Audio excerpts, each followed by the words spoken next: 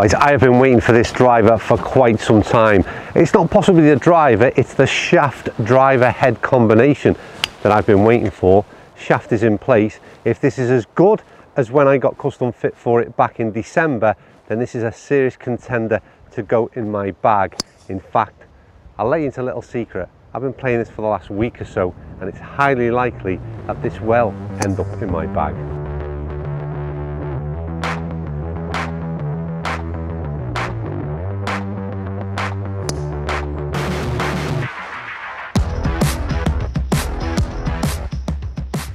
Now the one thing you will notice in this video, there's no dry ball data and this is very much about on-course testing. And if I'm honest with you, what I'm not concerned about right now is just how far this driver is going because I'm confident it's doing exactly the same as every other driver head. My main focus in this video is about control, how many fairways I hit, and that's golf in reality. It also has to be the best looking driver shaft combination that I've ever looked down upon particularly if you're a Liverpool fan.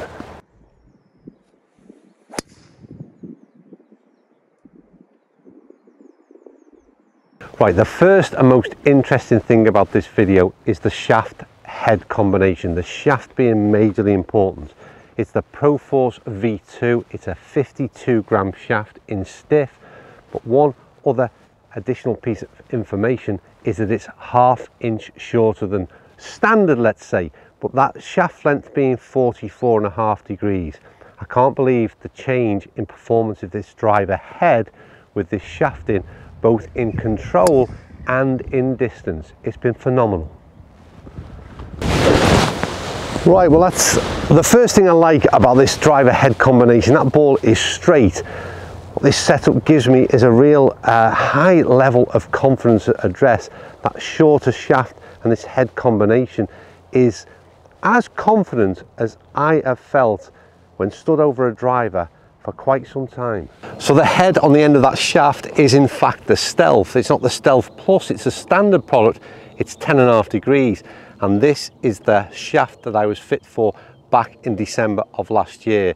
And it's very, very different from what I've tried since. So what makes this head shaft combination so good for me? Now everybody wants to play driver as many times as they can. We all like sort of bombing it as long as possible. But I've got to say that the 13th hole here at Carden Park, I'd probably be teeing up a three wood, perhaps even a hybrid because of lack of confidence and control in driver would be something I'd be fearful of. However, having played, like I said, quite a number of rounds now with this combination intact and all of a sudden I find myself reaching for the driver as being the club that I've got the most confidence in.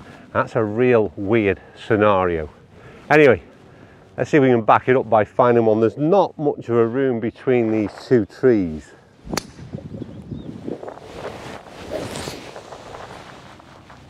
Well, it's making its way through the gap. It's, if I'm honest with you, it wasn't the best shot of it all morning, but it's bounding on.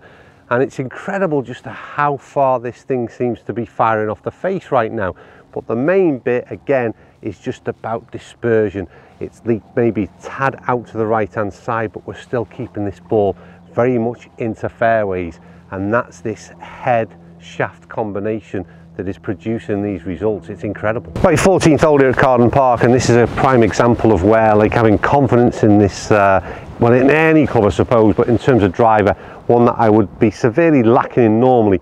I'm going to try and hit the ball from left to right and again I just don't know where this confidence is coming from but like I said I just feel that at the moment I can attempt those shots not necessarily always uh, execute them but like I said I've just uh, this confidence in this setup to do exactly that.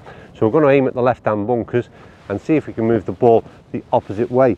And I think really what I'm trying to sort of I proves the wrong word is that golf is massive about between the ears. It's all about what's in the head and confidence is a huge part of that. And like I said, just two weeks of having this set up and all of a sudden my mentality towards my driver has just, uh, well, I wouldn't have been attempting this shot just a couple of weeks back with another driver in hand. That's just, Absolutely. I mean, I couldn't play the shot any better. We'd just come down on the sort of, uh, that's the 150 marker in.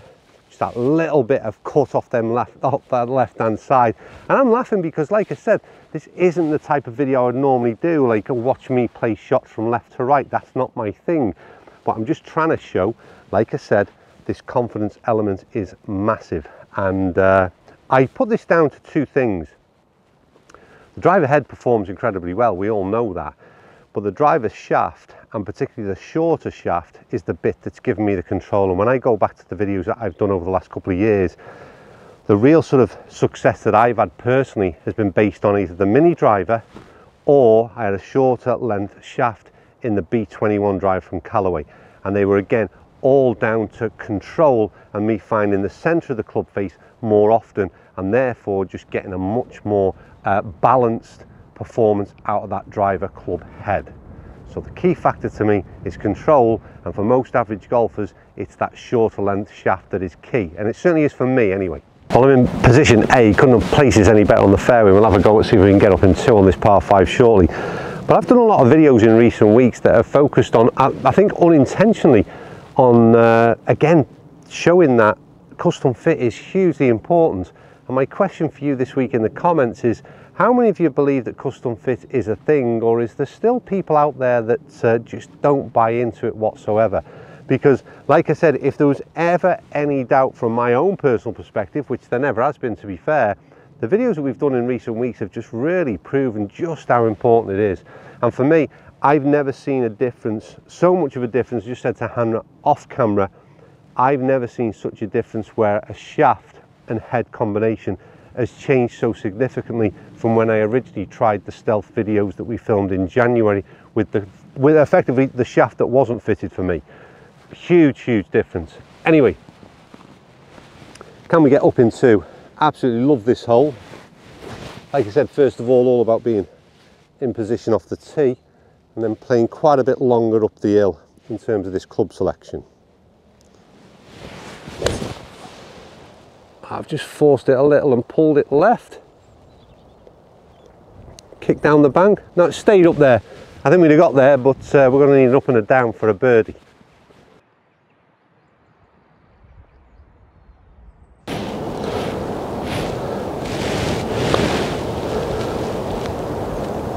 Oh, you were kidding me. So obviously um, Stealth has been out quite a while in terms of being able to try it. I want to know uh, who has tried it, what are your thoughts and what is a general sense of opinion right now.